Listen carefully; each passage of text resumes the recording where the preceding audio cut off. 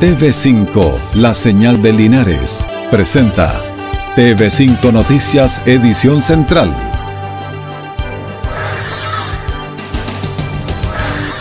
Teatro Municipal lleno para escuchar la charla de emprendimiento de Marcelo Guital.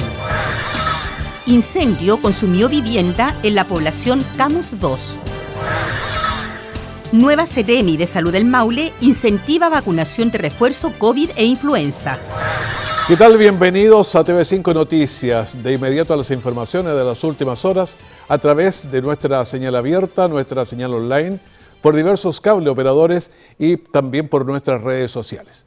Con el Teatro Municipal lleno, como no se veía hace más de dos años, esta vez fue para escuchar las palabras de Marcelo Guital.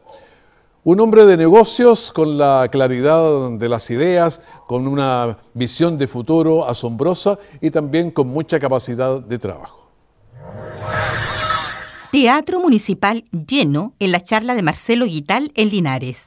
Los emprendedores especialmente llegaron temprano para ver y escuchar los consejos del mayor emprendedor de Chile, a fin de conocer cómo gestionar sus marcas y trabajar propuesta de valor. Creo que ustedes lo percibieron, es fantástica la energía que tiene Linares, lo que están haciendo. Obviamente el liderazgo él hay que reconocerlo, tal como yo critico mucho, también tengo que demostrar que aquí hay un liderazgo entretenido, maravilloso, concreto, eh, soñador, y yo estoy feliz, yo eh, esta, convocatoria, la, gente como participa, el hotel en que estoy, los locales nuevos, oiga, créanse el cuento porque la verdad están marcando una pauta y sigan apoyando Linares Emprende, que creo que es una iniciativa maravillosa.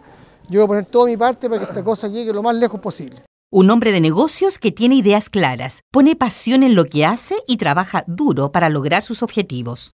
De 500 personas han asistido al Teatro Municipal de nuestra ciudad con la finalidad no solamente de conocer en qué va a consistir Linares Emprende, sino recibir una clase magistral, una conferencia de Marcelo Quital, quizás el padre de los emprendedores en Chile.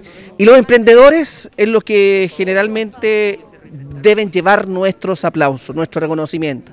Primero porque tienen motivación, tienen pasión por lo que hacen, se fijan objetivos y obtienen una rentabilidad y esa rentabilidad al margen que pueda ser o no eh, el, dinero, el sentido lucrativo. Para el sector público generan impuestos, dan trabajo, pagan patentes, lo que nos permite a nosotros en el ente público generar un bienestar común y contribuir a mejorar la calidad de vida. El empresario de Benedictino, de Juan Valdés y otros productos que han movido el mercado nacional. La cultura del emprendimiento con propuesta de valor es posible en Linares y así lo señaló en su charla Marcelo Guital. Con cifras a la baja se mantiene la situación respecto a los contagios de COVID esta semana en Linares. La nueva autoridad sanitaria recorrió el Maule incentivando a la vacunación de refuerzo y también la inmunización contra la influenza. Linares, al igual que otras comunas del Maule, presenta una paulatina baja de casos COVID diarios, 32 nuevos en las últimas 24 horas y 484 activos comparado el lunes con 89 contagios y 632 activos, un escenario que pese a todo mantiene inquietud entre las personas por temor a contagio. No queremos enfermarla. Bueno, va a llegar un día que a lo mejor nos vamos a resfriar eh, y, ahí hay que cuidarse, seguir cuidándose nada más. Pues. Como les digo, no salir, hay que salir lo justo y necesario nada más. De todas maneras es bueno vacunarse porque es una protección para uno misma. Entonces uno que ya de la tercera edad tiene que estar preocupado de todas esas cosas. Un escenario más optimista que el de hace poco más de una semana. La autoridad sanitaria entrante se despliega en terreno reforzando la vacunación. Hemos tenido estos dos años de convivencia. Eh, primero la influenza eh, estuvo en retirada, digamos, estos dos años, pero se sabe, ya se han visto que este año va a haber convivencia de influenza y COVID, así que un llamado a la vacunación. Por ello, reiteran el llamado a participar en la inmunización de refuerzo COVID y en vacunación contra la influenza. Muy importante, sobre todo los adultos mayores y un, eh, grupos especiales, ¿no es cierto?, embarazadas, niños, eh, que acudan, la posibilidad también de vacunarse eh, de COVID y de influenza a la vez. El escenario actual de la pandemia en el Maule señala que el mayor número de casos está presente en personas entre 30 y 49 años, con un 33,18%, y entre 10 y 29 años, con 31,17%. Un incendio consumió una vivienda en la población Camus 2. Los incendios de otoño e invierno son más en la tarde-noche, a diferencia del verano que son pasadito el mediodía. Con serios daños resultó una vivienda del pasaje Juan 23 de la población Camus 2 tras ser consumida por un incendio. Las llamas además amenazaban a una vivienda aledaña, pero gracias al rápido accionar de bomberos esto no ocurrió. La primera llegada de los primeros bomberos en el lugar alertaron que ya está completamente en libre combustión la habitación, la casa digamos. Así que se activó la primera alarma de incendio, fuimos despachados con una totalidad de cuatro carros al lugar eh, por el peligro de propagación inminente a, la vivienda contigua. Pero en este minuto ya se encuentra controlado la situación, más de 60 bomberos participando eh, y todas las instituciones, carabineros, seguridad pública en el lugar. Pese a que las causas del siniestro aún no han sido esclarecidas, el comandante de la institución señaló que para este otoño-invierno es importante la buena mantención de las estufas, ya que las temperaturas van a la baja. Eso viene una campaña pronto de, la institución, digamos, donde vamos a, lanzar todo lo que es un trístico, un eslogan, digamos, para mitigar, digamos, este tipo de incendios. Por medio de un comunicado, la Municipalidad de Linares comprometió ayuda para la familia damnificada. 22 de marzo, Día Internacional del Agua. El agua es vital. En el mundo hay 2.200 millones de personas sin acceso a agua potable pero miles se quedan sin agua y deben migrar. En Chile ya llevamos 13 años en que el agua es insuficiente y este año nada indica que vaya a mejorar. Por eso es imperativo cuidar nuestros lagos, ríos, afluentes, humedales. Es nuestro deber para que nosotros tengamos agua y también nuestros hijos y todas las nuevas generaciones. Y seguimos en TV5 Noticias, pero ahora nos haría falta un piano porque vamos a conversar con Eno Cortés, un pianista destacado de muchos años. Eno, ¿qué tal? Bienvenido a TV5. Un gusto, don Raúl. ¿Cómo está? Muy bien, gracias. Bueno, el año pasado, el 11, no, el 3 de noviembre, por ahí partió eh, Coral Esperanza, que es un proyecto entre Canal 5 y Radio Ancoa con adultos mayores de 60 años y eso incluso con un concierto a fin de año una experiencia muy, muy bonita, muy enriquecedora, eh, que justamente partió el 3 de noviembre del año pasado. Y al tiro, pues en Navidad hicimos nuestra primera presentación, que estuvo muy aplaudida, con bastante público, la gente muy contenta. Y eso era uno de los objetivos que buscábamos, de buscar al adulto mayor.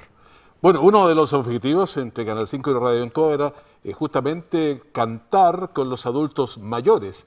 Y esa es la idea. Ojalá personas que hayan tenido alguna experiencia coral también en sus vidas, porque afiatar las voces no siempre es tan fácil. No es fácil.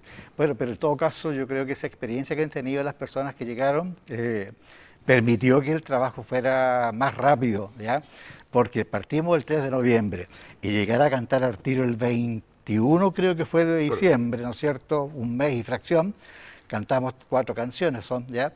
Eh, no es fácil hacerlo, pero resultó bastante motivador y muy bien, muy bien, con muy buenas expectativas de lo que pueda venir a futuro en realidad.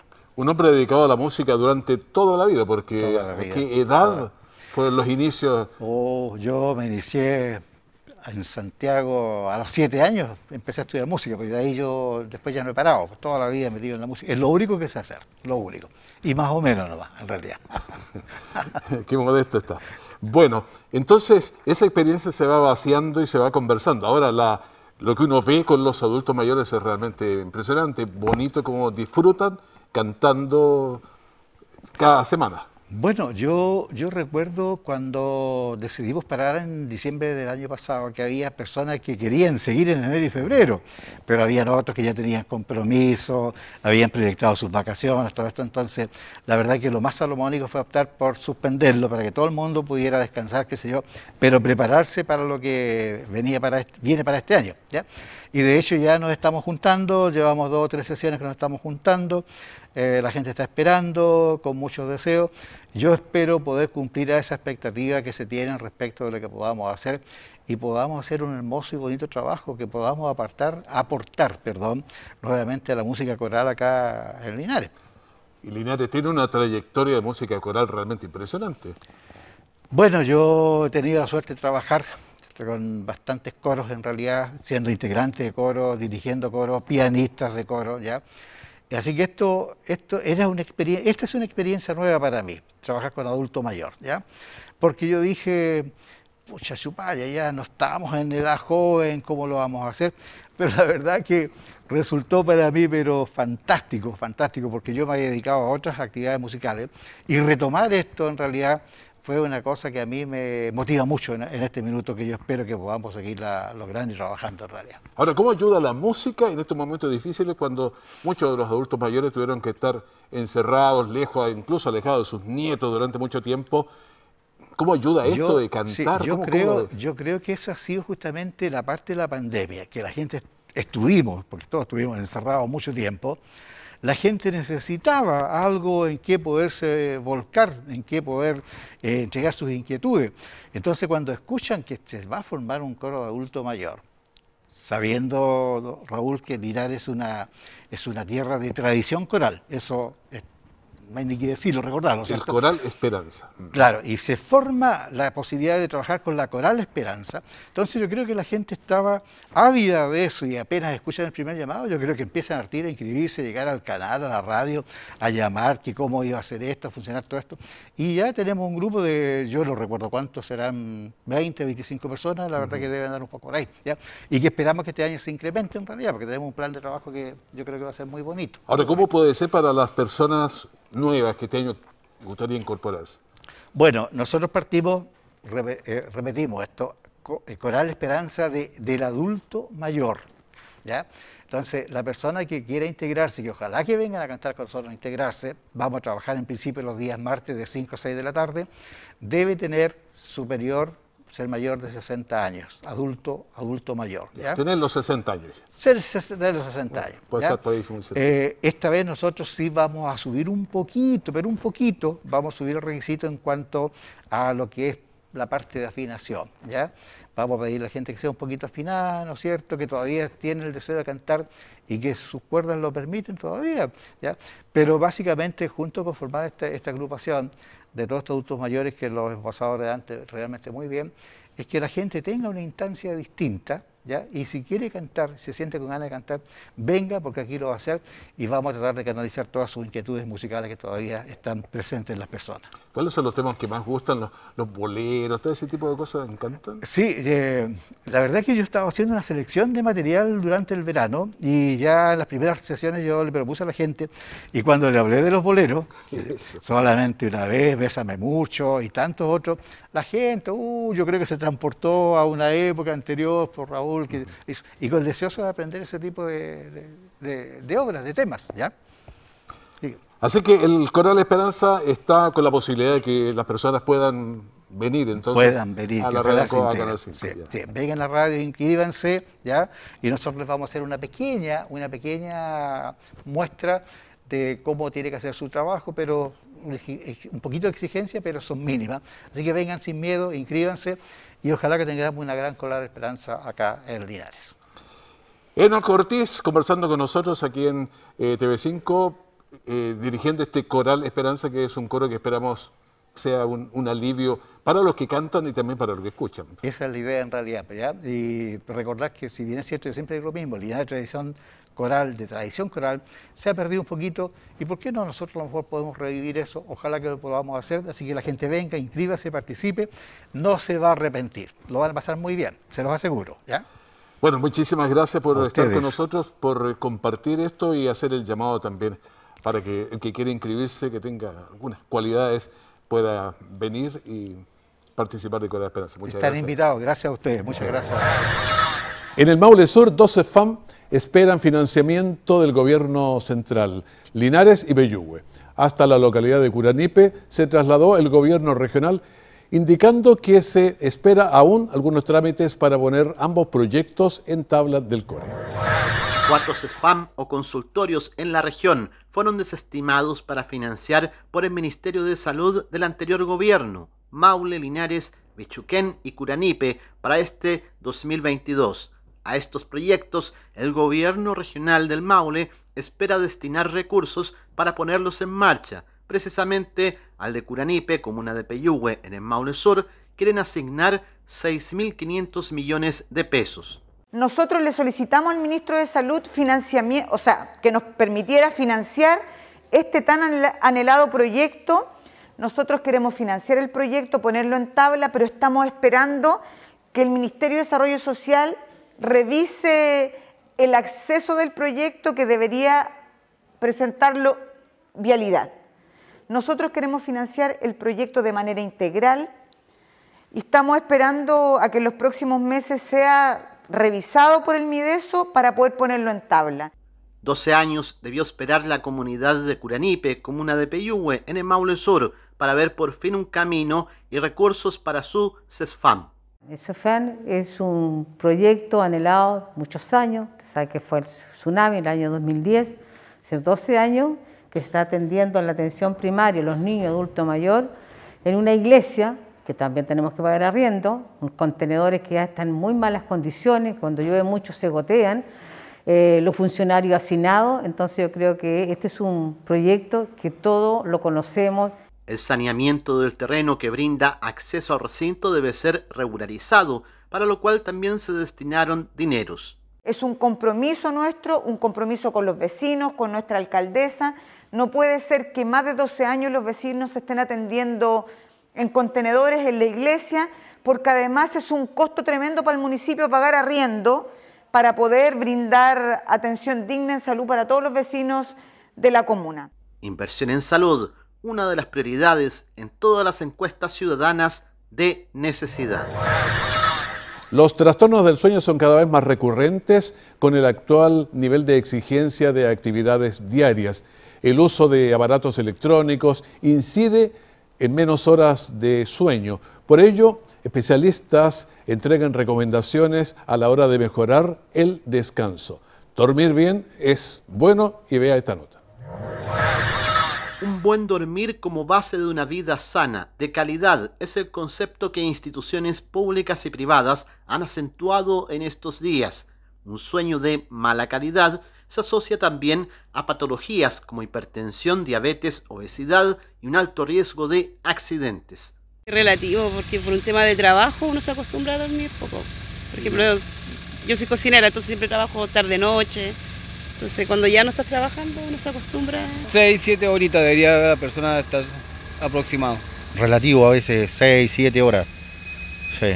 Y cuando duerme poco, ¿cómo amanece el día siguiente? Cansado, cansado las personas aumentan su riesgo de obesidad, por ejemplo, hasta un 15% por cada hora menos de sueño, incluso incide en la disminución de memoria e irritabilidad.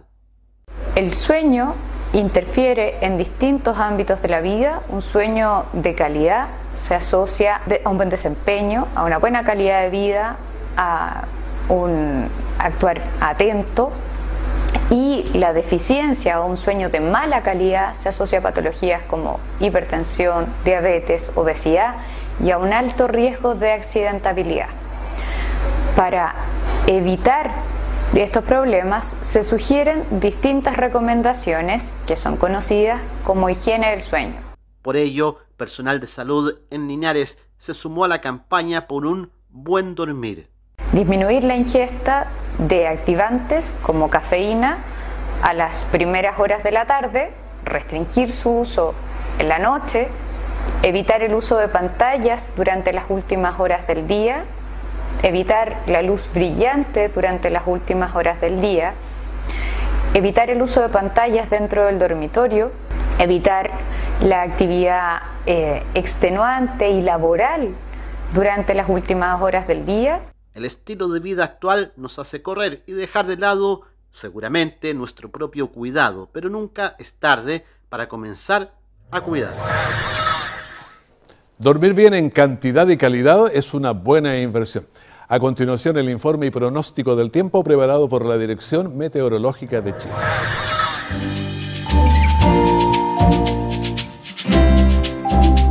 Estado del tiempo de Linares. Nublado variando a despejado. Temperatura mínima 8 grados, temperatura máxima 22 grados.